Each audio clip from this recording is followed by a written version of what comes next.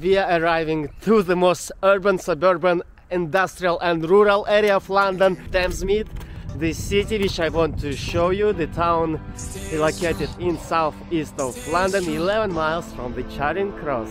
Let's go and check it out. easy, I can tell. I can tell. And before we start this video, please hit the like button because it will bring you luck and it will rank my videos and higher results on YouTube. It was built in the 50s of the last century. First residents arrived here in 1964. This area was built for the purpose to solve some social issues like overcrowding slums of other parts of London. So all the housing here built in the 50s of the last century and in there in many estates on the ground floors you will see the garages.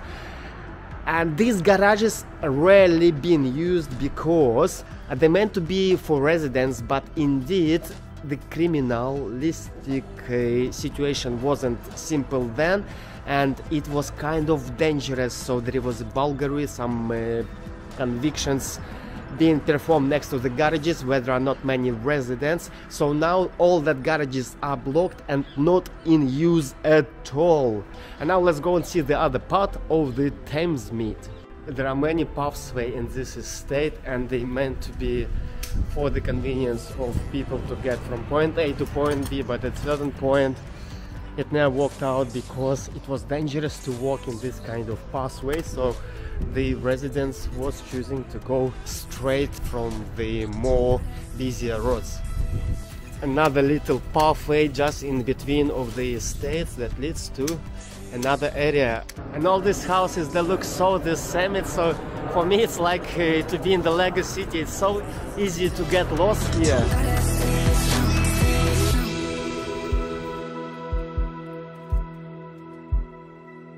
We're gonna go to one of the most obscure structures in London, the handmade mountain made from the rubbish, 28 meters high. Let's go.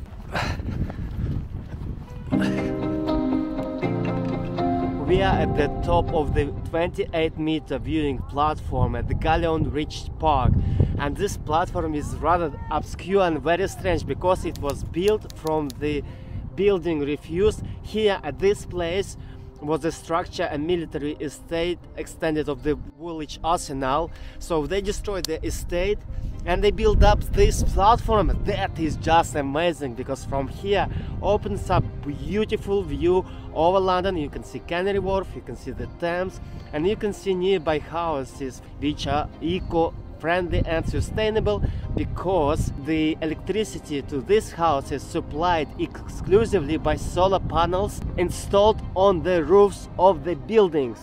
The park calls Galleon Ridge it's named after the rich family from the 14th century who owned the properties on the both sides of the Thames, of the river. Beyond the southern part of the Thames, the park is Galleon's Ridge, but on the northern part of the Thames, there is a DLR station, public transport station, which calls also Galleon's Ridge, the same name, and the, the person who doesn't know this story may be confusing. Why they both call the same name? Yeah, because this is the rich family from the 14th century century who owned the properties on both sides of the river.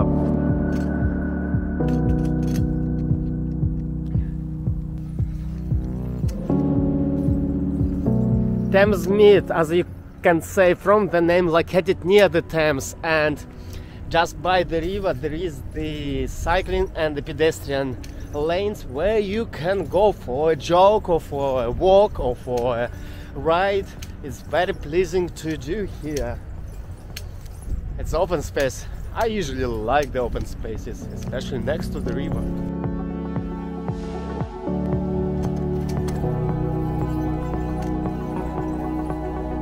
The city was built by scratch and because it's located in marshes, it's many of the areas are below the river level and they was basically leveled up and brought up like inch by inch and the architects who built this uh, estate they were inspired by water and they were thinking that what will bring the down all that kind of social tensions and social problems and here indeed in the Thames Thamesmead you will see many canals and many lakes and many ponds and lots of bridges. Thamesmead was built as the city of the future where there is not any problems ideal but it never happened. Indeed in 1990s there was a, such a huge problem of racial tensions. Ethnic minorities like black african and asian people were living here under the huge tension. They had to move out of this area. This is, was no-go area for them because they were afraid for their safety.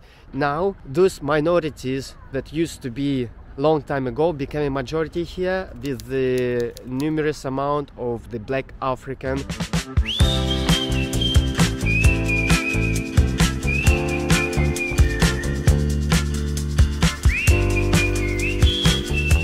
I don't know why such a huge wall located is here, but what I know for sure is that Thamesmead located into London boroughs, the Royal Borough of Greenwich and the London Borough of Bexley.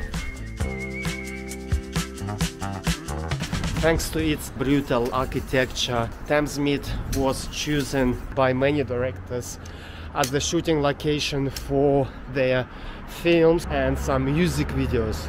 And actually I'm quite surprised that this place is not as heavily graffitied as Shoreditch because this is more derelict and more urban in a way. There is also the Ridgeway, the long stretching three miles uh, area of green spaces located Plumstead and Thamesmead, perfect for cycling, juggling and running and walking and all other activities.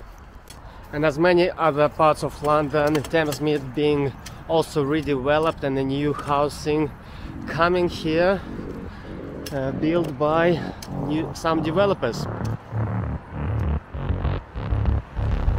The town of the future of the 21st century, indeed urban, suburban and rural in this brutalist estate. I'm finishing this video about Thamesmead and I'm I hope you guys enjoyed it and if you did then please don't forget to hit the like button and subscribe to my channel because I publish video twice a week about travel, healthy lifestyle, Russia, London and other stuff and comment what you'd like to see in the next video. Thanks for watching, bye!